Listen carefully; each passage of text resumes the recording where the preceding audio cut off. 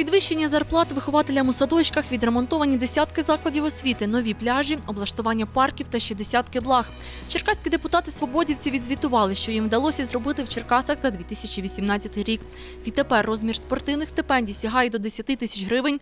Минулоріч за ініціативи свободівської команди підвищили грошову премію надії черкаського спорту. Ми надалі закуповуватимемо для наших спортсменів інвентар, якого не, не було понад 10 років. Ми відкриватимемо нові гімнастичні зали, льодові комплекси, футбольні поля і відкриті ринги.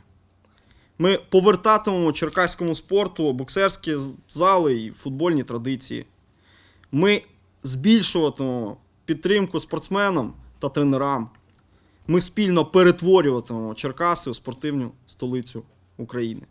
Наголошують і на основних освітянських здобутках у 2018-му департамент освіти та гуманітарної політики, який очолює Свободівець, провів ремонти в закладах освіти на 68 мільйонів гривень. Також забезпечили пільгове харчування в школах і садочках міста. Додають, не забувають і про вихователів. Завдяки свободі працівники дошкільних закладів отримуватимуть більшу зарплатню. Ми надалі проводитимемо національне виховання, аби у нас ставало більше патріотів міста і України, і ми виховували ціле покоління таких патріотів.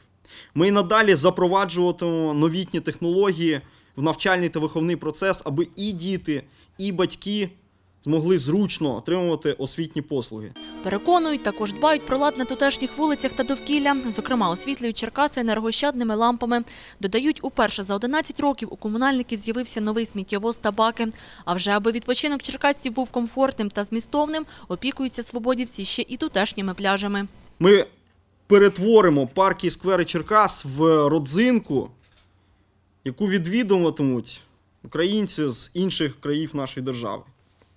Ми створюватимемо і розвиватимемо пляжі, аби наша набережна була ну, не гіршою, ніж закордонні курорти. Це наша стратегія. Додають, уже згодом Черкаси будуть із оглядовою родзинкою міста. Такі роботи заплановані на весну цьогоріч.